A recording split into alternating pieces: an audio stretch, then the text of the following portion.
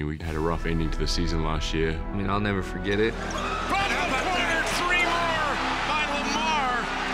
What has happened to Virginia? UMBC makes history.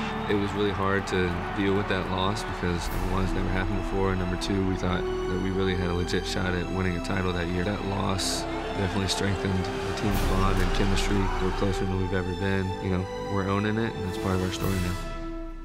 Gardner Webb against the number one seed out of the South bracket, the Virginia Cavaliers. Yeah, this core group who lived with it and went through that experience last year have waited for this. We use it as motivation. If you use it right, then it can buy you a ticket to a place you couldn't have gone any other way. We have another opportunity to do something really special in this tournament. What a start for Gardner Webb. Biani from the wing knocks down a three. This time Perez from downtown, and they hit another shot, and they're up 10 on Virginia. We came into this game knowing real well we were going to be in for a, a, battle. They punched us in the mouth. Gardner Webb's good. Like deja vu all over again. Efianayi, yes! Oh, wow. And I said, don't panic, but play with fight. Don't you dare leave anything in this locker room. You don't panic, but you play the right way. Ah! Jerome with the assist.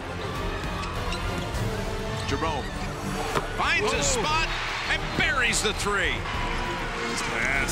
Hunter from the wing. Three more for Virginia. Now on a roll. Double-digit lead. A 31-point turnaround in this game. I'm sure a lot of people thought it was going to be part of our story a second year in a row. For those guys, a lot of them, you know, were hoping to be in this position again and um, and they stepped to the challenge even though it was a little wobbly at times. We're underway in Columbia. Underneath and scoring is Mamadi. Back to Mamadi. Mamadou. Bob Mamadi. Doolittle trying to back in. Over Mamadi and he's blocked. Virginia basketball alive and well in the NCAA tournament. It's the Sweet 16.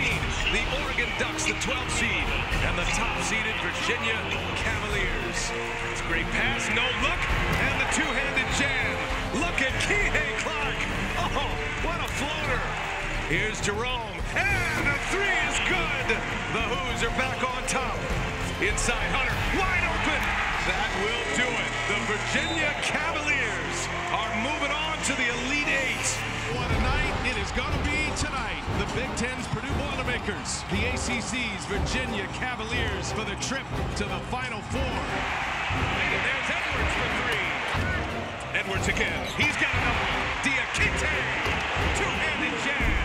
Clark gives it up. And Diakite with the layup.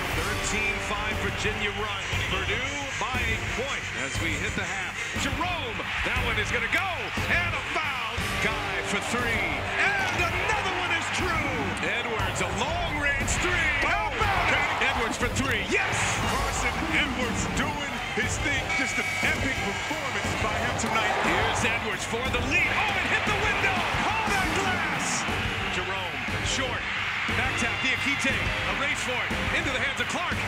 Up the front. Here's Diakite. It goes for the tie. Diakite squares it at 70. A heavyweight battle in Louisville. Jerome splits it. Jerome up high off the window. He scores. Longer goes to work on Eifert. Powers his way in. What a bucket. Carson Edwards looking at the clock. And a bad pass. And it's turned over. And that's it. Virginia advancing to the Final Four for the first time since 1984. No one knows what this team's been through. I do, and it's good. It's definitely flashing back to when I was on my knees last year. And I did it again, and I was just just overflowing with joy. So happy for my teammates and my coaches, and and for myself to be able to, you know, break through. To finally quiet the critics feels great. If you learn to use it right, the adversity, it will buy you a ticket to a place you couldn't have gone any other way. We were not going to lose this one, and that was what I knew.